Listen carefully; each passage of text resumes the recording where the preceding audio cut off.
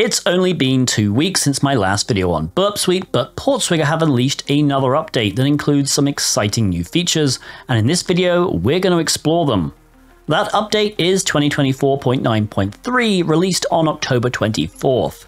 There's a new layout for the intruder tool, which should save a lot of back and forth clicking between tabs, yet another upgrade to the proxy match and replace rules with Bambda support, and Burp now natively supports the scanning of SOAP APIs.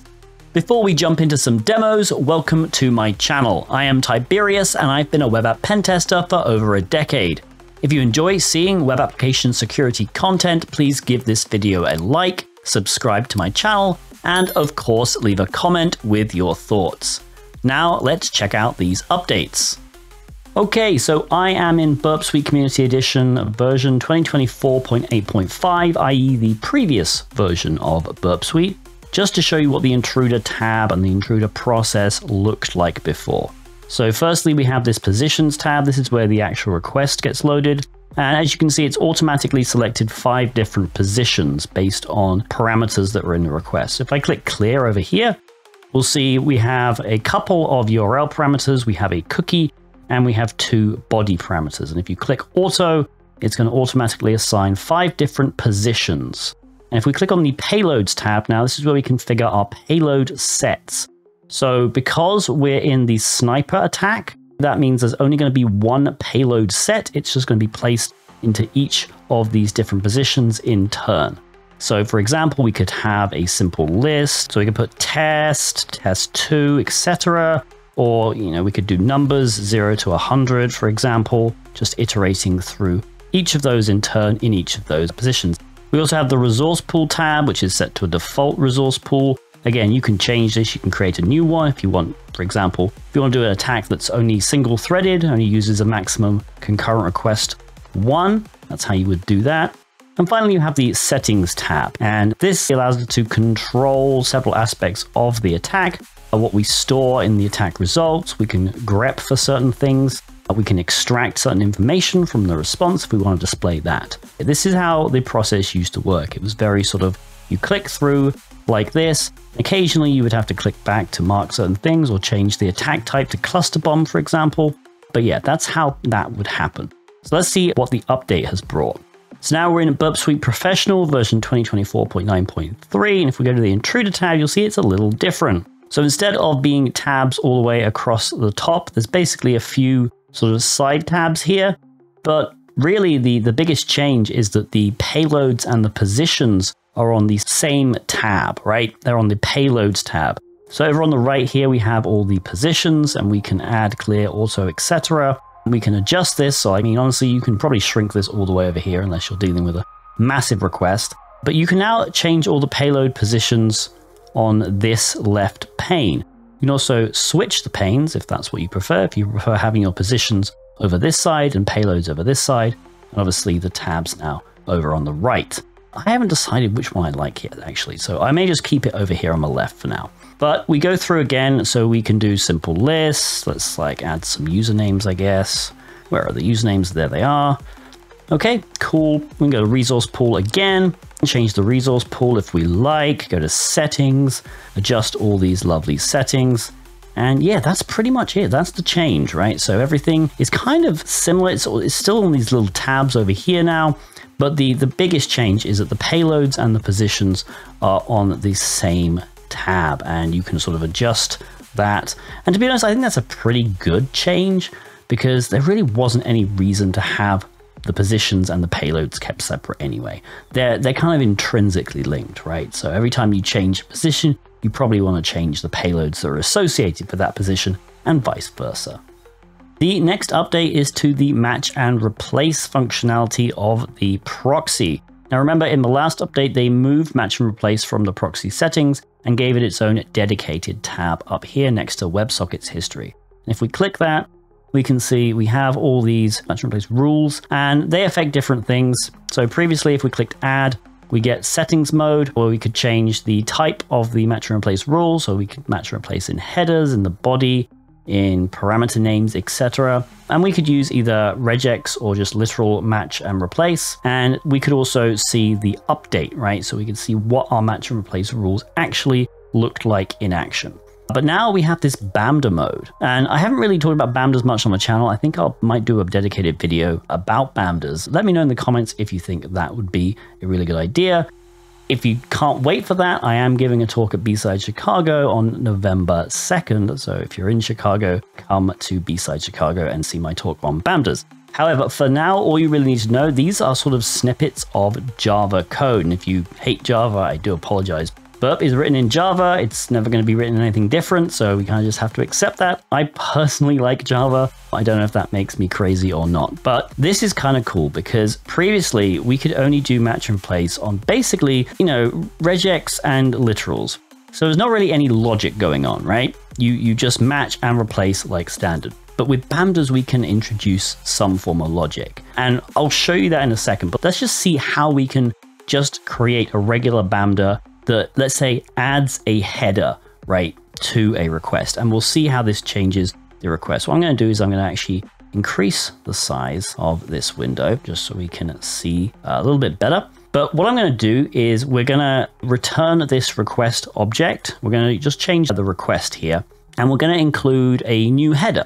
So what we can do is we can use this request object. We can use the with added header function or method and let's use, let's use this one. And we'll give it a name. We're going to go x forwarded for. And let's give it a value 127001. And yeah, that should be that should be good. Now if we test it, we can see that we've just added a header. So this is what the request looked like before. And you see the auto modified request, it now will just add a header. But we can actually expand this because previously in the settings mode, we could only add one header at a time, realistically. If we want to add multiple headers, we'd have to have multiple rules. But with Bambdas, we can actually add quite a lot of headers at once. So for example, the X forwarded for header is really useful for doing IP filtering bypasses. It occasionally works, but there's a bunch of other headers that do similar stuff. So what if we want to include those?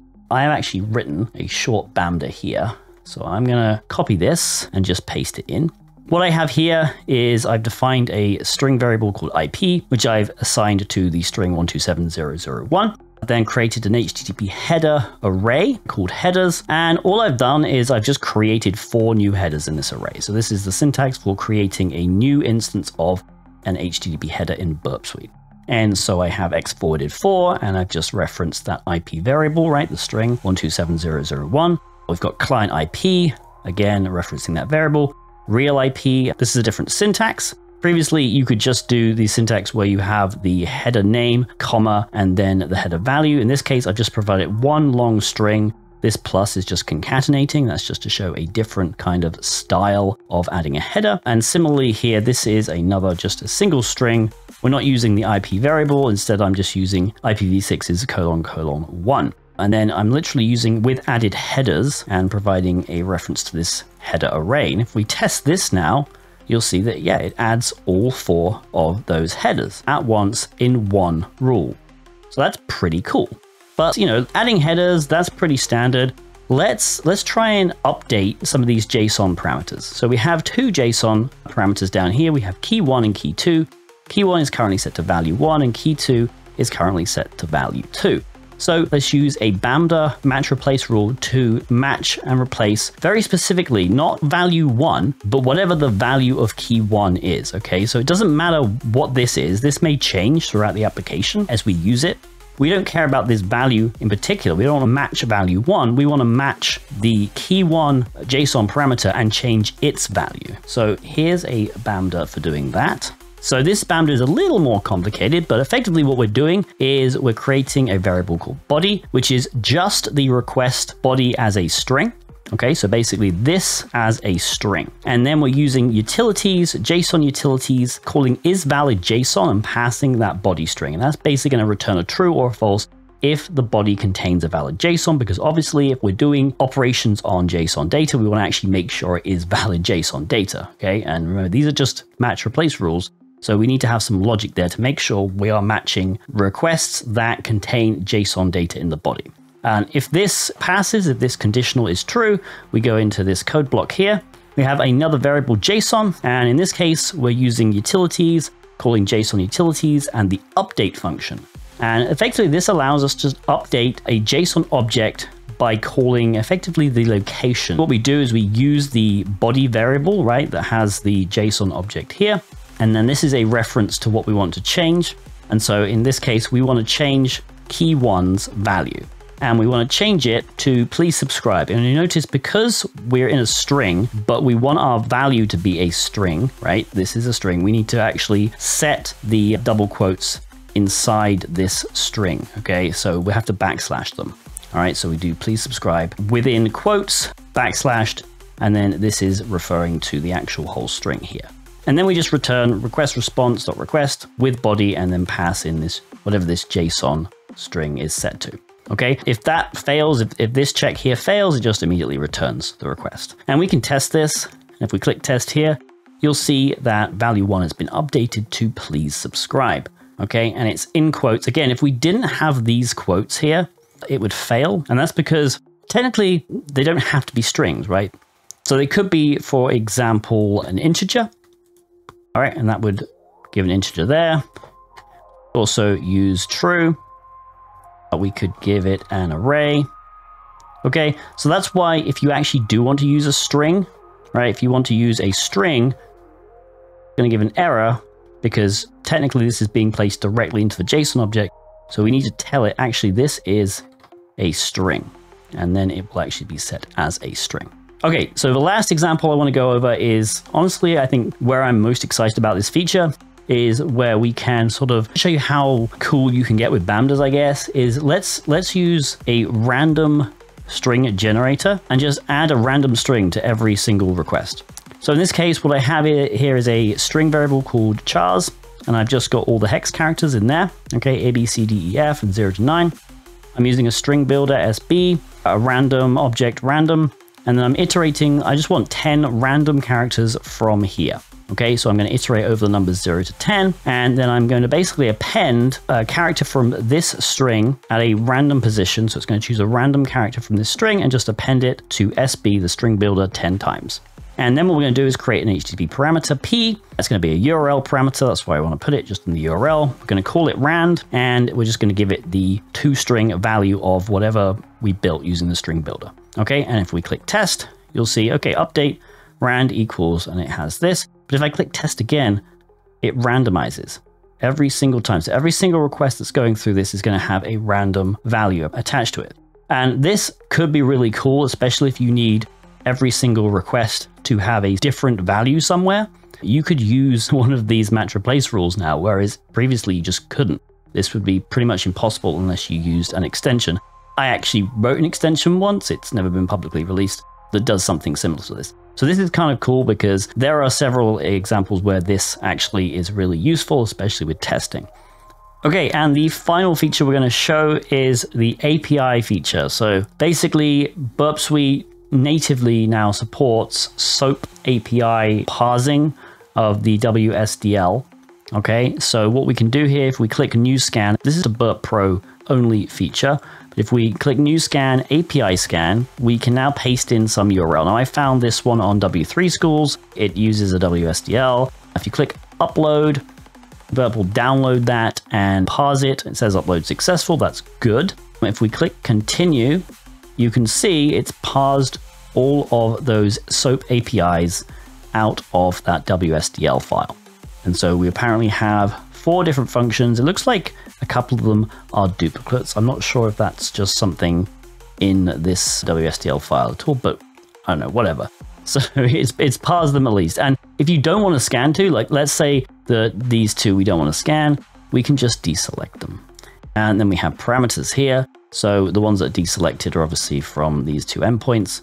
So we have these two parameters that are going to be scanned. We can go in here, configure our scan, and then you know go to resource pool if we need to update that, click scan, and those APIs should start scanning. Thank you so much for watching. Let me know what you think of these new features in the comments and if you want me to make a video about Bambdas.